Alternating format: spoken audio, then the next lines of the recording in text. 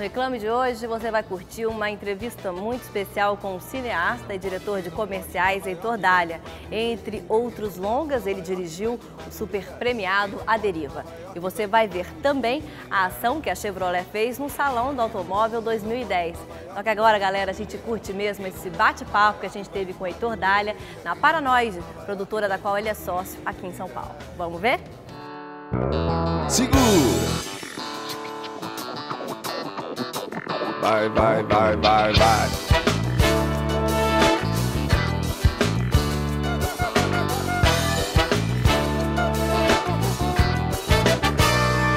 Bom, gente, o nosso entrevistado da matéria de capa de hoje, ele começou como redator numa das principais agências brasileiras, DPZ, DM9DDB, Talent, entre outras.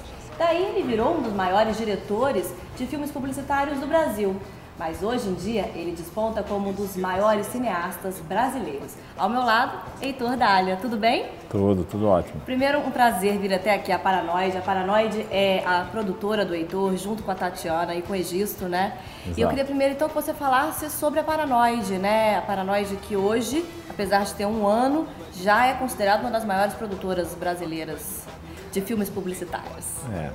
Então, Paranoide foi uma, uma aventura que começou um ano atrás, né? A gente não esperava que, que fosse dar tão certo assim, tão rápido, mas acho que ele é um resultado de, de toda uma filosofia que as pessoas envolvidas na empresa, eu sócio eu, o Egisto, a Tatiana, que eram pessoas que têm uma história longa em outras áreas. O Egisto foi um dos melhores RTVs do Brasil durante anos.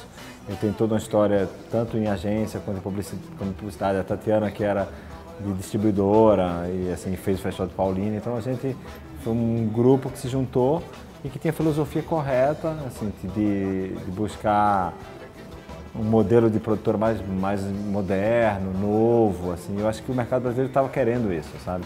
É uma produtora que a gente, a gente começou com duas associações internacionais, com a Paranoid US, que é uma produtora super de vanguarda nos Estados Unidos, tem escritórios na França também. Depois a gente fechou um acordo com a Argentina Cine, que é uma produtora da Argentina, uma das três melhores produtoras da Argentina. E a gente fez um investimento assim em talento, né? Porque assim, até porque eu nessa área, eu sou um diretor, então eu pensei no modelo de produtora totalmente friendly, amigável para os diretores, assim, sabe? Então, uma produtora muito com foco no, ta no talento e no trabalho criativo, assim, sabe? De uma maneira bem real, assim, bem sincera. O mercado brasileiro é um mercado bem visto lá fora? O mercado internacional é muito competitivo, mesmo. E, e eu acho assim que o Brasil agora que está chegando, o Brasil, o Brasil como país está entrando no, no, no, foco internacional. A gente realmente cresceu economicamente, se estabilizou quanto, quanto a economia e, e os mercados estão amadurecendo. Eu acho que isso, esse reflexo tem na publicidade, sempre foi uma publicidade muito é, a brasileira sempre foi muito boa, né? Uhum. Assim, sabe? Principalmente no print. É. Em, algum, em algum lugar lá atrás também na mídia eletrônica. Entendeu? E a gente perdeu um pouco assim essa esse, essa maneira de produção dos filmes, assim, tipo, é, e, é, em larga escala, como a gente é bem sucedido no print, por uma série de coisas. Eu acho que, e, porque o print você tem uma mídia mais específica, né? E a mídia eletrônica você tem que falar para 200 milhões de pessoas e o país ainda é muito desigual é, economicamente. Então, você, quando você tem que fazer uma, uma, uma, propaganda de massa, às vezes você tem que ser um pouco mais didático né, do que uma propaganda sabe, na Inglaterra ou em alguns. Mas acho que a gente está, o mercado brasileiro cresceu muito, está amadurecendo, acho que vai haver essa exportação de talentos, sim. Como a gente ainda também não tem uma economia prontamente estabelecida, ainda existe muito medo de investimentos muito altos, é. de, de de repente você usar e o público não entender. É. Ainda tem esse, esse medo, né? É, eu acho que tem, não nas agências, assim, tipo, muito mas dos clientes, sim. clientes, sim, assim, você pega, por exemplo, a propaganda argentina aqui, que é uma propaganda muito boa de mídia eletrônica, por duas razões, porque tem um cinema muito forte lá, Exatamente. uma tradição... É, cinematográfica que vem de escola de cinema, de uma política de cinema de muitos anos.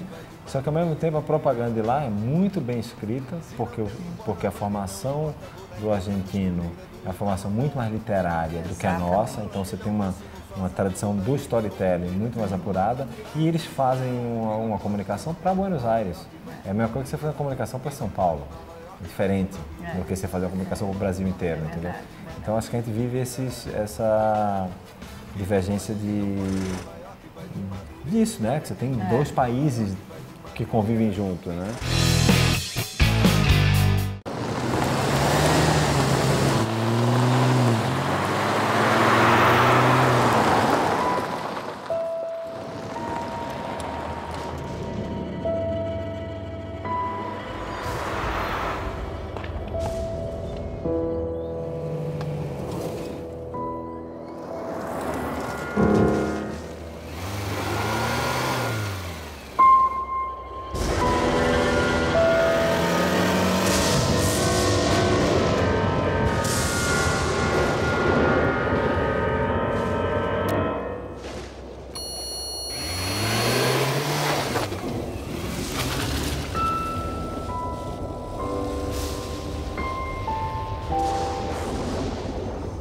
É, vamos ter que pedir pizza. A minha sem alho. Nova estrada Adventure Locker. Mais Adventure impossível. Agora, Heitor, quero começar falando de você, do seu início. Quando eu li um pouquinho é, e pesquisei um pouco da sua vida, eu não sabia que você tinha começado como redator né, em agências de publicidade. Como tudo começou na sua vida? E dali, para você começar a dirigir filmes publicitários. Olha, assim, na verdade, assim, tipo, eu sempre tive um interesse grande no cinema, só que na época que eu estava exatamente entrando é, na universidade, era, foi a época que o, que o cinema acabou. Foi a época do, do Plano Collor e a, a, a desestruturação da Embrafilme e do Recife, que também não tem uma, uma escola de cinema, como você tem a USP, a FAP aqui, só não tinha na época, não sei se tem hoje.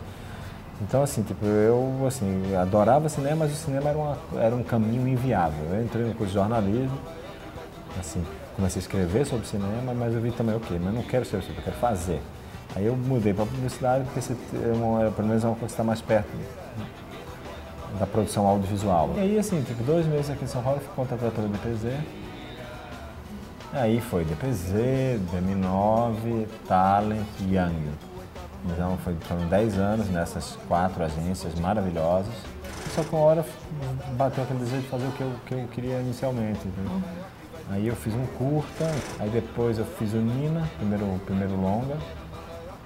Depois do Nina eu comecei a dirigir publicidade, como, como Então, você primeiro fez cinema, Primeiro antes de dirigir publicidade, olha que legal. antes de dirigir um comercial eu fiz um longa.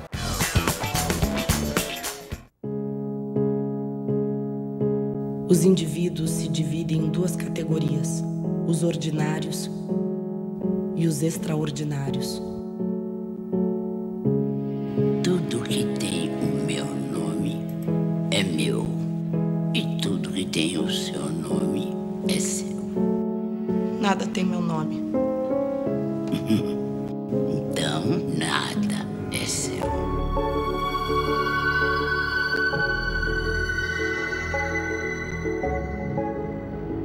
Tenho dinheiro nem pra comer.